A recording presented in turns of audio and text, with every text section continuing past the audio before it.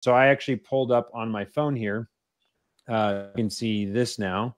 This is a screenshot or like a screen share of my phone. Is this coming through? Yep.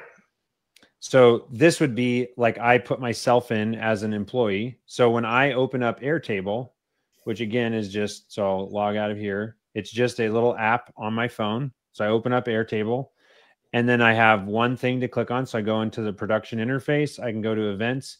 These are the two events that I am assigned to as Chris Kiefer, the crew leader in this company. So I can now click on that job and I've got right now, there's no actual hours logged on this particular project yet because it's coming up. There's 66 hours of total with estimated plus AWO plus pushback. Um, the status of it, um, I can go in and see the directions. So I can tap get directions. It pulls up Google Maps, gets me directions to this particular job. I can open up Company Cam, boom, straight to the Company Cam project. Um, literally every single thing about this project we link into Airtable. So, uh, like this company communicates via Slack. So, not only does it open up Slack, but it opens up the Slack channel for this project in the Slack app on their phone.